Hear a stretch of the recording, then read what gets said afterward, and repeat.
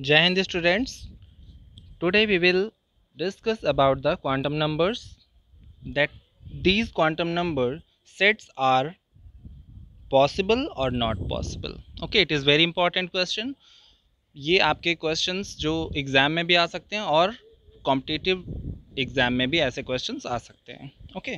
तो इसे आपको समझना चाहिए, ये टेबल, टेबुलर फॉर्म में भी हो सकता है, बहुत सारे क्वांटम नंबर्स भी दिए होंगे, किसी भी सेट को पूछ सकता है कि इसमें से कौन सा रॉन्ग है या इसमें से कौन सा पॉसिबल नहीं है, ओके।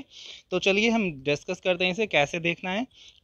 तो फ़र्स्ट सेट हमारा दिया हुआ है N is equal to three N is principal quantum number and it is three तो हम यहाँ लिखेंगे, ये क्या है? Three principal quantum number okay.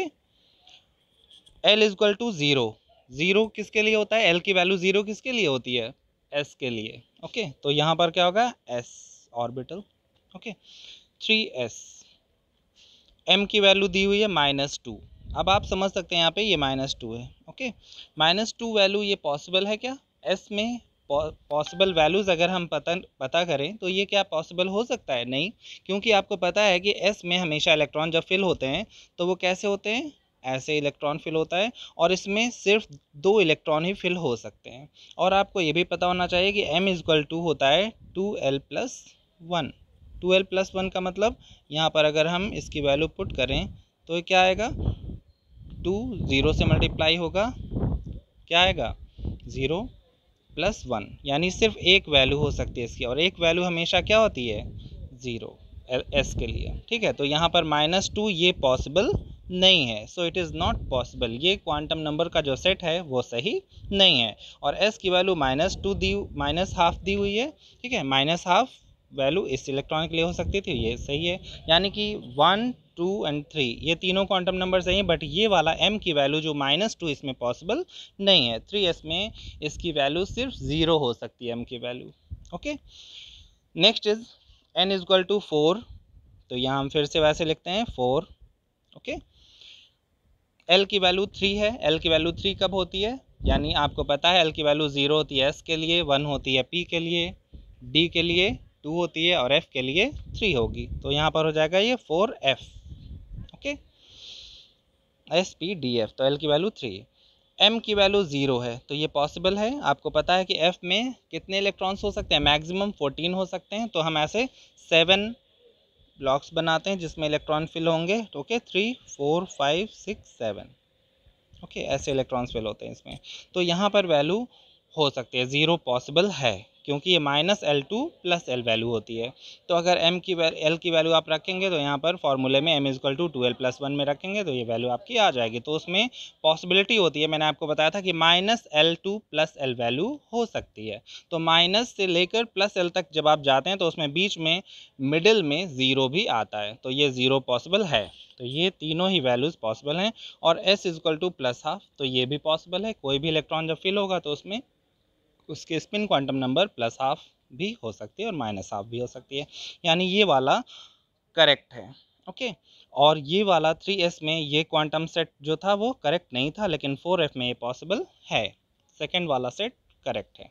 Third में देखते हैं N is equal to one L is equal to two ठीक है? तो अब यहीं से आप लिखेंगे फिर एन प्रिंसिपल क्वांटम नंबर क्या है? वन है।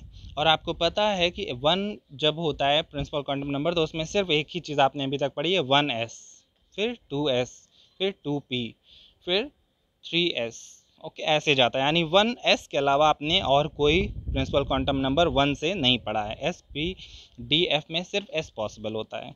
तो एल की वैल्यू यहाँ पर टू दी हुई है। टू वैल्यू किसके लिए होगी?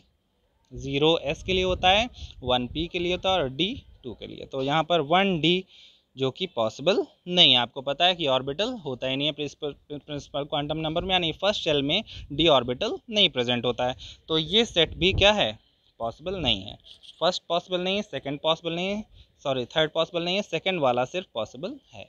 ओके फोर एफ़ तो इस तरह से आपको कई सारे अगर सेट्स दिए हुए हैं और ऐसे टेबुलर फॉर्म में दिया होगा एग्ज़ाम में तो आपको उसमें आइडेंटिफाई करना होगा और उसमें रीज़न के साथ, जैसे मैंने आपको एक्सप्लेन किया है वन बाय वन आपको ऐसे ही करना है कैलकुलेट और फिर आपको उसे शॉर्ट में रीज़न जो देना होता है कि ये क्यों पॉसिबल नहीं तो आप यहाँ क्या लिखेंगे? फ़र्स्ट वाले में आप लिखेंगे कि यहाँ पर सिर्फ़ zero value M value possible है माइनस टू यहाँ पर इम्पॉसिबल है। और यहाँ पर आप लिखेंगे कि वन डी भी इम्पॉसिबल है, इसलिए ये क्वांटम नंबर का सेट सही नहीं है।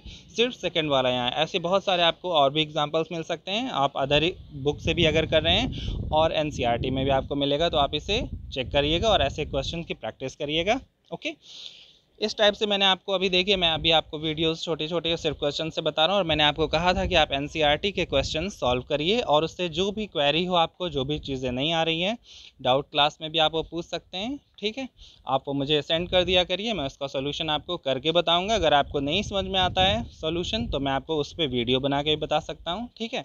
पहले आप अपनी तरफ़ से सारे जो आपके एफर्ट्स हैं, वो कर लीजिए और अगर फिर भी आपको प्रॉब्लम आएगी तो मैं आपको वो क्वेश्चंस डिस्कस कर दूँगा, ओके? कई सारे क्वेश्चन सिंपल हैं, कुछ थोड़े से कॉम्प्लेक्स होते हैं तो अगर आप कर लेते हैं कॉम्प्लेक्स वाले भी तो बेटर है। अदरवाइज़ आपको जहाँ भी प्रॉब्लम आए तो आप मुझसे मैसेज कर सकते हैं, मैं आपको वीडियो बना के भी एक्सप्लेन कर सकता हूँ, या फिर मैं आपको उसका सोल्यूशन सेंड कर दूँगा, अगर समझ में आ जाएगा तो ओके वरना आप डाउट सेशन में भी मुझसे डिस्कस कर सकते हैं। Okay students okay thank you